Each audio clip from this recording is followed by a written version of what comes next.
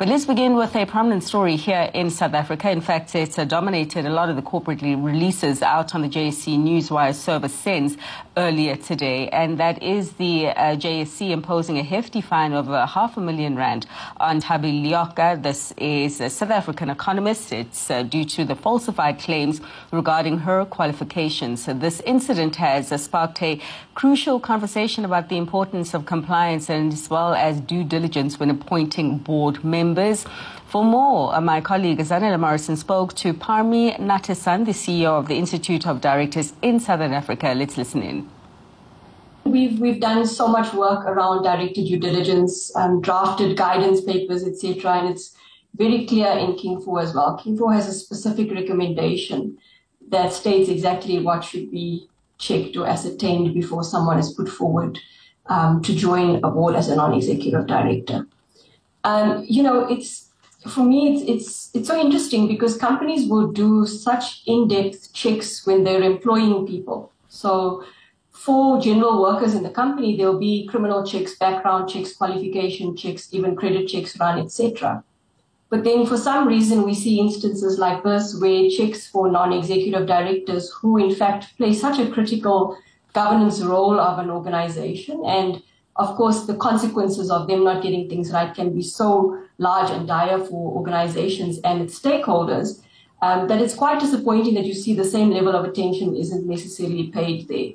Um, you know, we've we've in the past been very clear around you need to be very certain around someone's um, track record. So it's about looking into their background, doing a search, um, considering whether there's any reputational matters that may impact the company before you're appointing someone.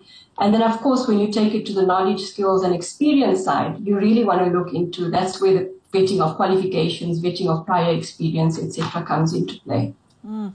And, and in this instance, the, the issue really came around her qualifications. But the things you've just mentioned, all of them, um, can perhaps be also applied, you know, knowledge, skills, and experience here. How does a candidate um, as in the case of Thabi, sit across such diverse boards. You know, what experience would somebody have to be at MTN, to be at Netcare, to be at Remgro, to be at Anglo American? This is really a huge, very diverse industries, yet we find that um, a single person can sit across all of them.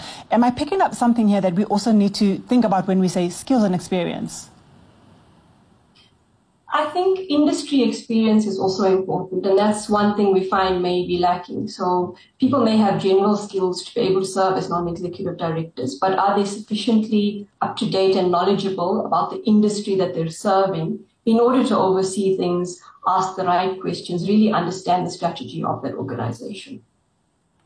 And, and, and in this case, so the due diligence, I mean, a great example. You wouldn't hire an executive who doesn't have the experience or the skills, let alone the qualification. Whose responsibility is it on the board to ensure that this is in, that this is applied effectively and appropriately for board members? Look, most times this would be executed within the organization, right? In the company secretarial sort of department whoever is running with the admin around um, applications, interviewing candidates, and ultimately appointing candidates. But having said that, it's definitely something the nominations committee of, of a board should should have oversight into what is the due diligence that is conducted when board members are considered for appointment. I think, uh, especially the, the nominations committee of the board. Um, I think also in this instance, you know, what bothers me is that many of the organizations that the person served on were listed on the JSE. And by virtue of being listed on the JSE, they are uh, required to apply King 4 in the listings requirements.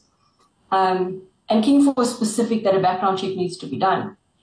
And if King 4 practices are not applied, there really should be explanation in their governance reporting about why they didn't apply it, why they thought it wasn't necessary, and what compensating factors they put in place to cover or, uh, to address that risk.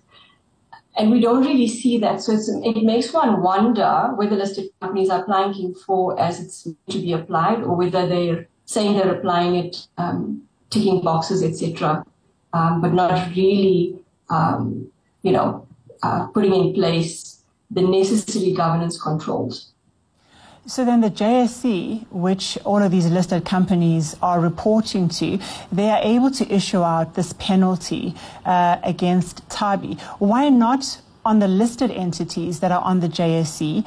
And also, if these companies have been uh, complying to JSE rules, uh, who does the check? Because um, if a company is not compliant, but the JSE is saying they're compliant, and when found not to be compliant, the individual and not the company held accountable. Perhaps explain to me um, what how what the logic or why that works in that way. Because she's not a listed entity, the companies are, and yet she's um, uh, she has had to, to to bear the brunt of what was done incorrectly by organizations listed on the JSE. Yeah, I mean, I think there should be accountability for both the individual and organizations when these sorts of things happen. Um, the JSE, I'm sure, have their processes in place, and then they need to answer, you know, questions on what further action they're going to take. Um, certainly, I think, you know, questions could be asked around uh, the application of King 4 and the disclosure um, by the regulator. And so, do you think that you will see any? Um, well, let's hope and see what the JSE does, and, and hopefully that's also transparent. Um, but how do we, or how do you, as an organisation, um, would how would you like to see transparency, and to whom is that transparency? Because if it wasn't transparent to date. Uh, to anybody, this con- this probably is going on as we speak and can continue to go on until another person is identified to sacrifice publicly. Mm. So I think it's a bigger question around disclosure of governance and the application of King 4, which we're certainly working on. So what we found in the past is uh, because of the apply and explain regime, organizations are meant to be explaining in their annual reporting or other somewhere else, maybe perhaps on the website, um, how they've applied King 4. And I think um, at the moment what we found is that becomes a little bit inconsistent and incomparable. And one of the things we're looking at as a King at the moment um, is how we um, change things to make the governance reporting a little bit more um, consistent so that we can then one be able to compare from one company to another and two be able to hold companies accountable as well. Mm. An interesting comment that was made yesterday in a, in a gathering of CEOs is also around uh, tenure, and there's a feeling that there isn't enough um, people available to enter into the board space. Thus, we see same people sitting across the board, as in the case of, of Thabi sitting across four completely different or five completely different boards, and uh, you know, and that's a lot of boards to sit on. Do you find that there just isn't enough talent, and so the same people are there and have to be in those roles? You know, I I don't think we can say there's not enough talent. You know, at the Institute of Directors, we have over 9,000 members, and we also have two director designations, of which many hundreds of people now hold those designations. So those people certainly are there and available to serve.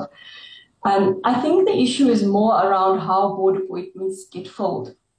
So more and more, um, you see, especially on the larger organizations, that when there's a vacancy, um, there's perhaps uh, uh, going around the table saying, does anyone know somebody that we could approach who's got this specific skill or this specific uh, experience or demographic or whatever it is um, that they're looking for. So what happens then is that um, the same people tend to get appointed because it's the people who are working with each other on other boards and, and then they recommend each other onto uh, whichever other boards are looking for vacancies at that point in time.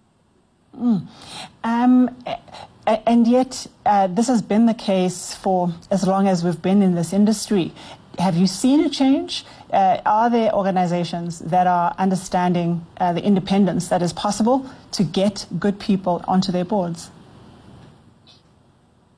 I think it's difficult to say because I, I think it's still a mixed bag. Um, some I know definitely know that some large organizations use um, search firms to try and um, find the right type of uh, candidate that they're looking for for their board and looking specifically at um, diversity as well. And I think I think that's great. Um, there's also some companies that advertise their vacancies via the IODSA, where we would advertise it to our designees to then apply for those vacancies. So I think there are moves in the right direction.